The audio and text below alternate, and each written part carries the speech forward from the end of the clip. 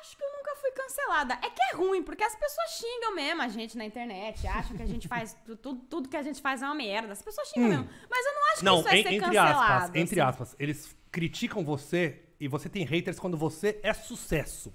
Então, se eles estão te criticando, é porque você tá bem na fita. você já Então, é. é que tem algumas coisas que quando a gente, quando a gente vai brincar, a gente, né, aceita alguns termos. Por exemplo, você quer se expor na internet, você quer fazer brincadeira, você quer fazer o que você quiser, quer ser livre pra fazer o que você quiser, você vai escutar um monte de coisa. Ai, meu Deus, estou sendo cancelado. Tá bom, mas eu, eu assinei o, o termo aqui que eu gostaria de fazer o negócio mesmo. E gente vai me xingar e pronto, acabou. Ai, eu tô tô tadinho de mim, tô sendo cancelado. Tá bom, você não gosta de ser cancelado, então não faz coisa pra internet, vai o ser famoso, advogado. é o famoso proibir o bullying. Não adianta, o ser humano ele é maldoso, a criança é meio ruimzinha.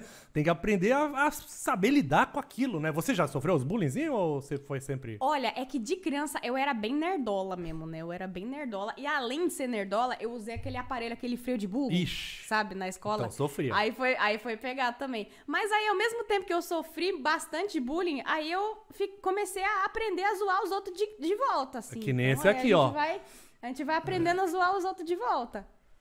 Então, então, utilizei isso a meu favor pra fazer a internet dar uma crescidinha. Exato. Não, ficou esperta, né? Porque senão era... as bonitonas viraram tudo meio tonta, não é? Não, as suas amigas bonitonas da escola não devem estar meio tonta.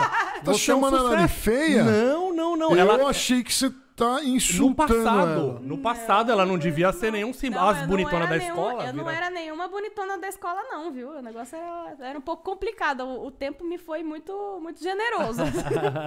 Já o Lorde, né? Não, é que quando a gente é novinho, né? Eu acho que os, os gostos entre os novinhos é diferente, né? O Lorde inverteu. Ele era bonitinho, pequenininho, sabia? Era bonitinho quando era novinho. Eu- idade- até hoje eu sou bonitinho. É...